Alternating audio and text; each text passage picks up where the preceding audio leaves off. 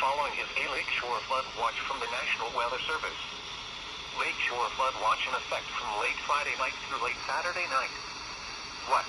Significant lakeshore flooding is possible. Strong north and northeast winds gusting up to 40 to 50 miles per hour will build waves to 12 to 16 feet with occasional waves up to 20 feet. Where? The shoreline areas of Cook and Lake counties in Illinois and Lake and Porter counties in Indiana. Friday night through late Saturday night. Impacts. The winds and large battering waves combined with near record high lake levels could exacerbate already significant beach and shoreline erosion sustained in the past several months.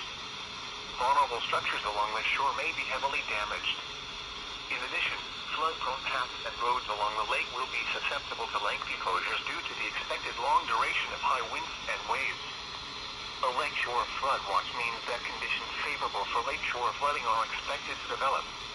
Residents on or near the shore should take action to protect property and listen for later statements or warnings. At 10 a.m. at South